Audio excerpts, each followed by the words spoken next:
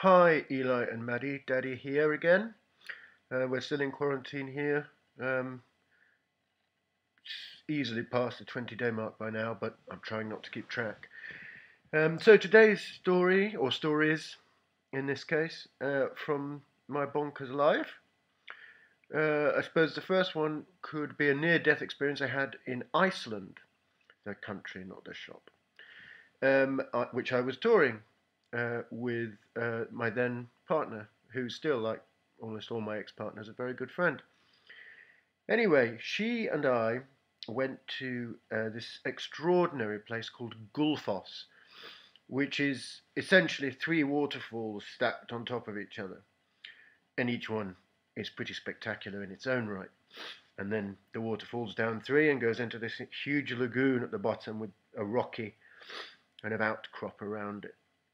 It's a spectacular place, um, which you really must visit one day. Anyway, so I'm wearing slight. This is winter.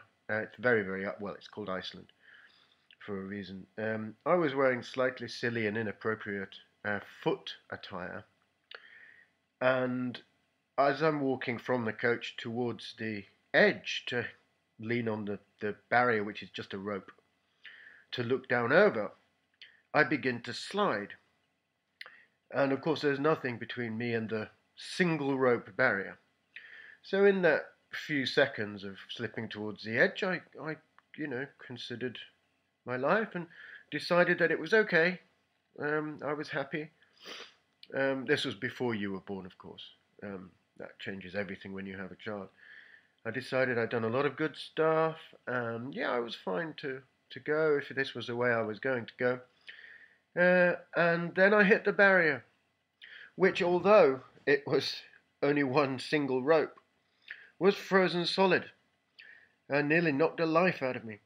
And I understood why they didn't need more than one rope, because a rope frozen solid is like a brick wall. So that was an interesting thing, and of course I survived to tell the tale. And uh, another near death experience actually occurred, and one has to laugh about these things, obviously. Um, and I'm not religious, obviously, so I'm not scared of death. Um, I think it's healthy to have an irreverent attitude about such things.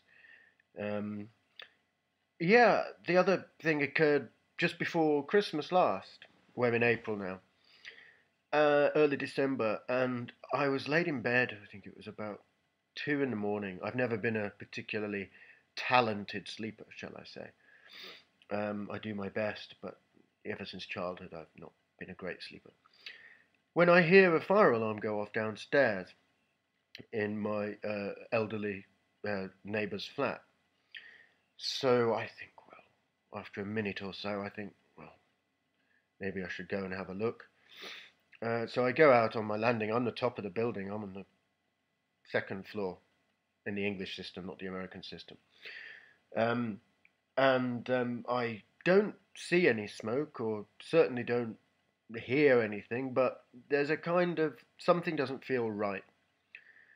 So I thought better be safe than sorry. So I came back in my front door and walked into my bedroom to call the fire brigade. This is a distance of approximately three plus meters or so.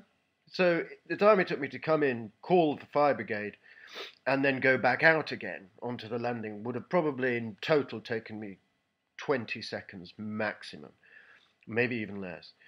Um, and in that time, I came out and the whole landing was split level with smoke. So that was quite alarming. But I'm telling you this because it has a very funny ending. I had to drop to my knees and crawl out down the stairs and out the front of the building because they told me to do that. Um, but it has a funny um, uh, epilogue because obviously I was in my dressing gown. So they put a huge tin foil sheet over me and the other residents of the building, all of whom were okay in the end. And of course, I'm uh, concerned about the tortoises, or well, our tortoises. And um, the funniest moment, everyone had to laugh despite the fact we were freezing our bollock off uh, in the middle of the night. Because by this point it was three, three plus, maybe four, four o'clock in the morning. Anyway, it was three burly firemen coming out, each one carrying one of my tortoises. looking very worried that these tiny little cute animals were going to bite them um, when they'd just been hauling heavy equipment in to fight a raging fire. So that was an interesting story, and uh, more tomorrow. But for today, stay safe. Lots of love as always from Daddy. And yeah, hope to see you soon. Mwah.